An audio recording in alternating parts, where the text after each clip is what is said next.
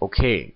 So now we're doing an example of implicit differentiation. Right. Let's say we have this function defined implicitly.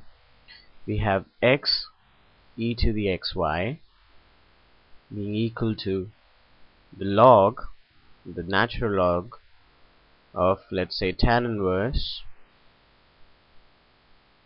x plus y okay? And we have to find dy over dx.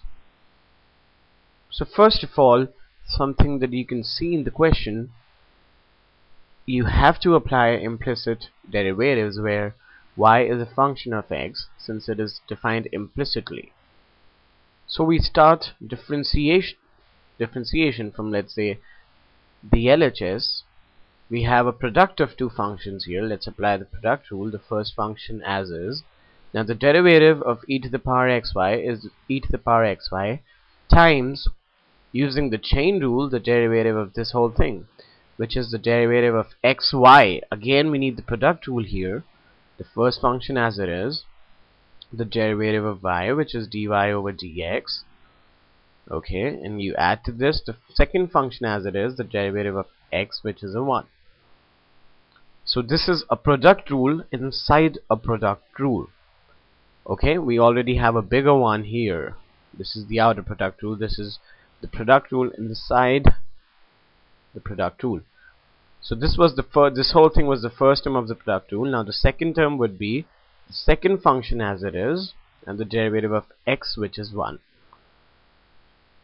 and let's talk about the RHS we have log of let's say this function is p so we have ln p. Using the chain rule it would be 1 over p dp over dx so 1 over p would make it 1 over tan inverse x plus y.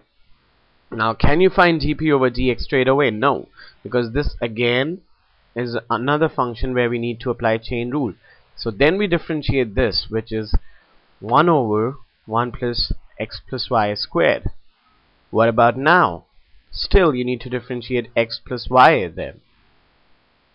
Okay? Which whose derivative is 1 since the derivative of x is 1 plus the derivative of y which is dy over dx right. Let's just simplify things a bit.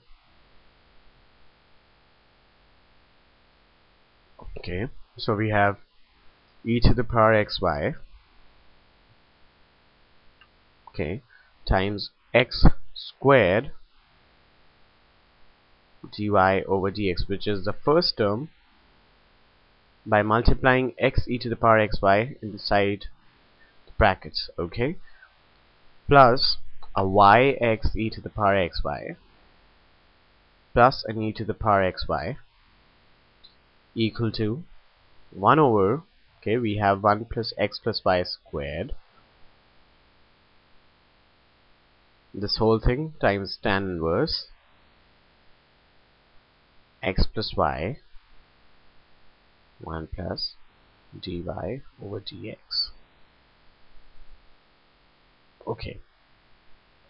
Now let's put all the terms with dy over dx on one side. So we have x squared e to the xy now from the RHS I have this whole thing being multiplied by dy by dx. So I have minus 1 over this whole thing right? So this is 1 plus x plus y squared tan inverse x plus y. Now this whole thing times dy over dx would be let's take the other terms on the RHS so this term remains on the RHS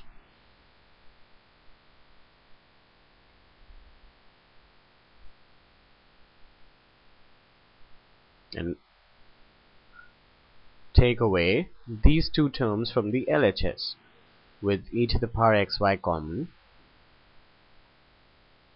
and a y plus 1 so dy by dx here would be simply this whole thing on the RHS over you get this from the LHS down here.